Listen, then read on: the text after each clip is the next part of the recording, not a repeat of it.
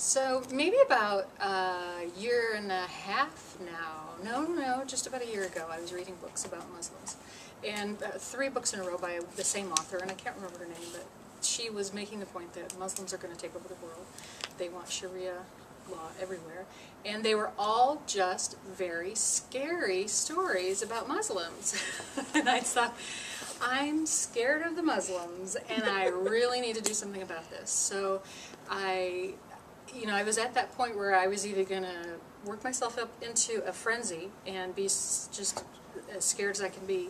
And I kept thinking about my little boys, who at the time were five and two, and if thinking that if I can't calm myself through this fear and you know work myself through this fear um, that three books have caused, um, how am I going to teach my young sons to deal with fear and people who are different and different ideas? And just then, um, I'm not really sure how I got on the Project Interfaith email distribution list, but I'm so thankful I did because, I mean, just right then, when I was in my most frenzied, scared of the Muslims moment, the email came through about the Community Mosaic Project, um, interviewing people of different faiths, promoting understanding between faiths, um, learning about different religious ideas, beliefs, cultures, um, and I thought that's what I need. I need that. I need to go meet some Muslims. and that's when Sierra paired her with me because I'm the scariest Muslim she knows. it would be perfect. Perfect and the most innocuous, actually, I think, probably. But it was good because I think I'm, uh, well, I don't look like a Muslim. I've been Muslim for 20 years. Um, but I don't look like a typical one, and I, I, guess I am an unconventional one, being a convert and and all that. But um, that first lunch um, at the Greek restaurant, right? Because I don't think had we gone through the training already? We had gone through the training already, and then I asked you if you would be willing to talk to me, you know, talk to me through some points that I had built up through these books and some ideas that I just wanted to clarify. And Kale was so generous and kind um, to say, sure, you know, let's go to lunch. I'll answer any questions I can, and hopefully it'll help. And so we did. I don't know, two hours, two and a half yeah, hours. two and a half hours later.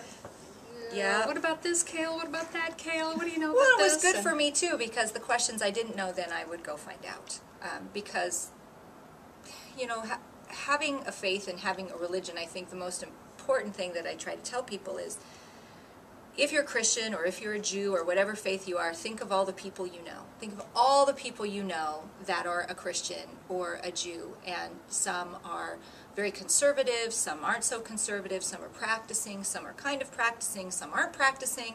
Um, and, and in Islam, we have all those people too. We have all those people in all that spectrum as well, but uh, the only people, I, the only Muslims I think we see regularly on the television um, are the scary ones. The very scary ones, right? Yeah. And I think through Project Interfaith and the Community Mosaic Project, I think I'm still scared of those scary ones, but I, I think I'm a little unsettled by some very extreme Christians, some very extreme atheists, some very extreme anybody.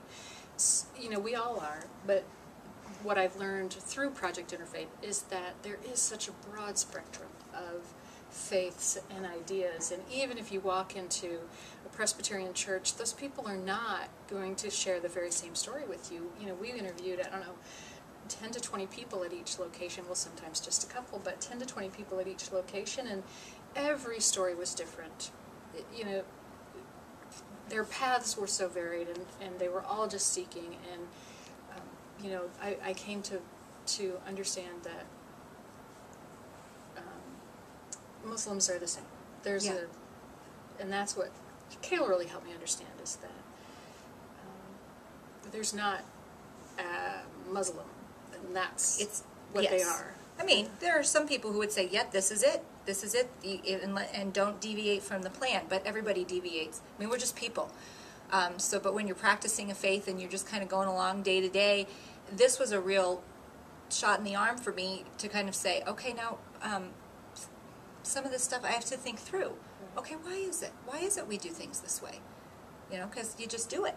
And what where did that belief and come where from? did where this did come that from? practice yeah, come from? exactly. You know, and um, there's and, and being from Nebraska, my husband's family being from Pakistan, uh, and then knowing Muslims from around the world, I, I learned very quickly that a lot of things that I thought were Islamic were cultural. You know, and, and how to divide what comes from the Quran, what is, you know, something we do because it's, you know, because we're Muslim, and what do we do because we're Pakistani. And, and that was, you know, no matter where you come from, Sudan, Somalia, Saudi Arabia, it's going to look different. Uh, Bosnia, it's just going to look a little bit different, you know, all the way through. But I think the big thing was, once you know somebody and you know a little bit about that faith, then you're not so afraid to talk to other people. You know, it's all about relationships because if you know somebody who's a Muslim or you know somebody, um, uh, then it's just easier to ask the questions, I guess, that you're wondering.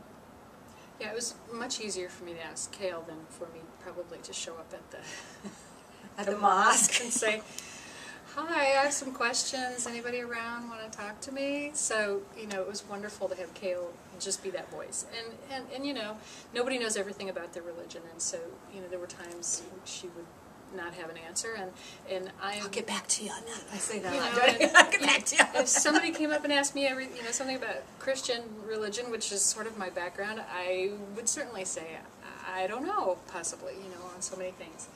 So I think that putting that human spin on it through seeing all these different people that are maybe going to the same building to worship or commune together, uh, be in a community of faith together, seeing all these people that are going to the same building and calling themselves the same title, the same label, doesn't mean they're all exactly the same.